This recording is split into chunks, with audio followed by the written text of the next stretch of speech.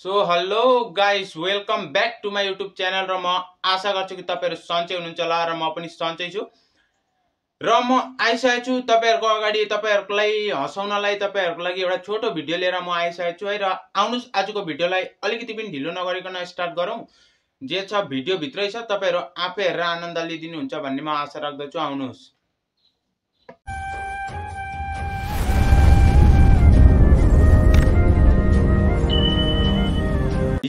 म टोइलेटमा थिएँ होइन टक्क मेरो गर्लफ्रेन्डको कल आयो है मैले ठक्क उठाएँ होइन। बेबी बेबी म टोइलेटमा छु अहिले एकछिनमा निक्लेर कल गर्छु भनेको के गर्दैछु? भन्छ कि। फेरि मैले भने बेबी मैले भने त म एकछिनमा निक्लेर कल गर्छु टोइलेटबाट निक्लेपछि टोइलेटमा बोल्न मिल्दैन क्या मान्छेले राम्रो सुन्दैनन् भनेर भनेको। अनि फेरि एकछिनमा निक्लेर मैले कल ब्याक गरेँ होइन?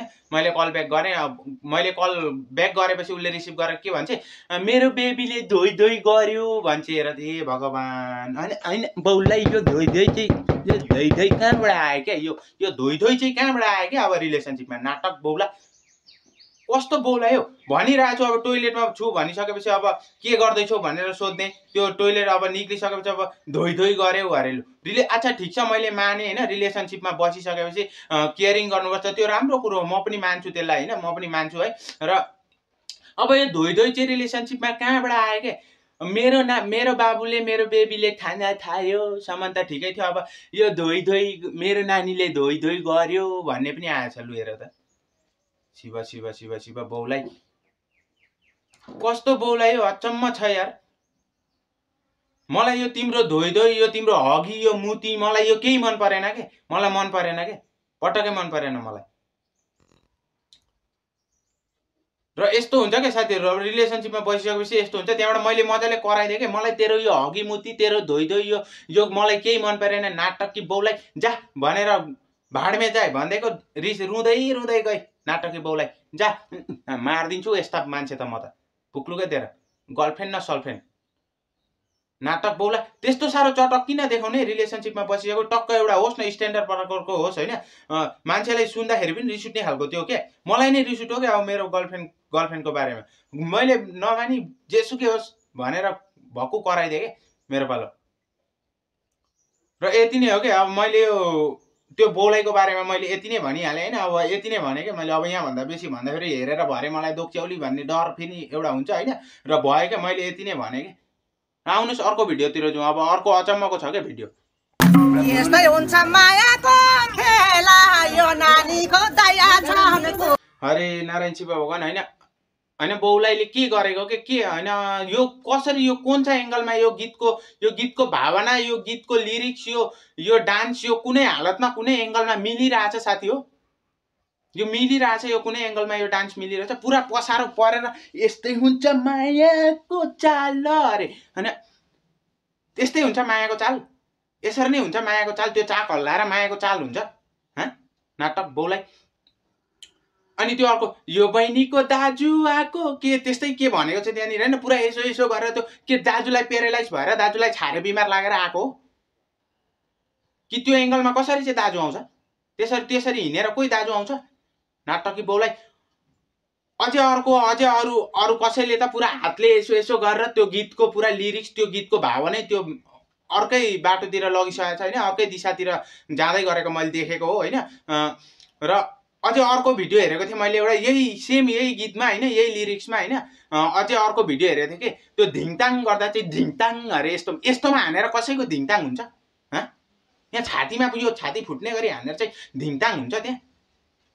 नाटकी बाउलाई मारिदिउँ नाटक बौला जे गर्न मन लाग्यो त्यही गरिदिँदा भयो तिमीहरूले यहाँ आएर।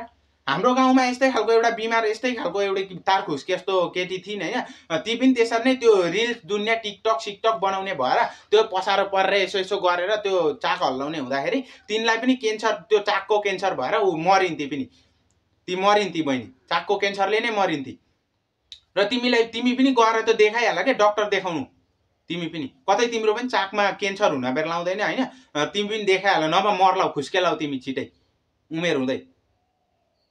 भयो क्या यो भिडियोलाई मैले यति नै भने। अझै अर्को भिडियोतिर जाउँ अनि मलाई तिम्रो भिडियो त्यो तिम्रो मायाको चाल पटक्कै मन परेन मलाई तिम्रो चाक पटक्कै मन परेन क्या थु। भयो अर्को भिडियोतिर जाउँ आउनुहोस्। कालो भो त के भो? गोरु चाहिँदैन मलाई। गरिब भो त के भो? धनी चाहिँदैन मलाई। ए बामा मेरो लागि केटा खोज्ने भएछ नि। नारीको इज्जत गर्ने खोज। मारिदिउँ मारिदिउँ मारिदिउँ मारिदिउँ मारिदिउँ नाटक बौलाई मारिदिउँ है? मारिदिउँ बाइचान्स तिमीलाई कालो पोइ परेछ भने चाहिँ तिमी त्यही बिलाना गाउने त हो नि। मलाई त मन पर्थ्यो गोरे तर पोइ पर्यो काले भन्ने त हो नि तिमीहरू। नाटक बौला।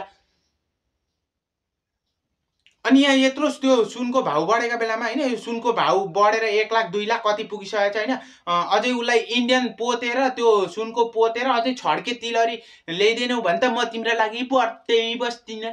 पो भन्छन् हौ। त्यसै भन्छन्। तिमीहरू नै हो नि त्यसो भन्ने। अब यहाँ आएर अर्कै भनिदिँदा भयो यहाँ त्यो भिडियो अगाडि चाहिँ राम्रो भएर भनिदिँदा भयो तिमीले हाँ? नाटक बौला। कस्तो बौ कस्तो बौलाई हौ? मारिदिन्छु होला म त पुक्लुकै दिएर पुक्लुकै त्यहीँ ढालिदिउँ कि क्या म? नाटक बौलाई।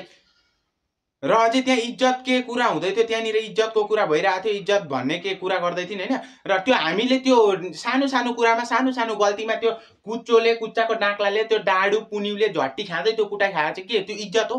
हाँ? हामीले इज्जत पाएको त्यो नाटक बौलाई अझै तिमीहरूलाई चाहिँ इज्जत चाहिने इज्जत चाहिने बौलाई है, पक्लक्कै दिएर। इज्जत चाहिने अरे उनीहरूलाई अझै। कालो पोइ अझै धनी होइन धनी नभए पनि हुन्छ इज्जत। त्यसका बाउको इज्जत पक्लक्कै दिएर भाँडमे जाए तेरा इज्जत छाला भयो के मैले यो भिडियोलाई यति नै भने।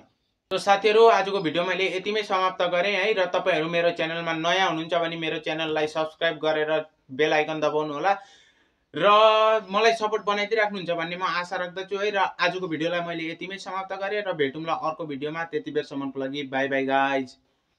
आयो रोस्ट निरज अब साइड लाग र मलाई सलाम ठोक।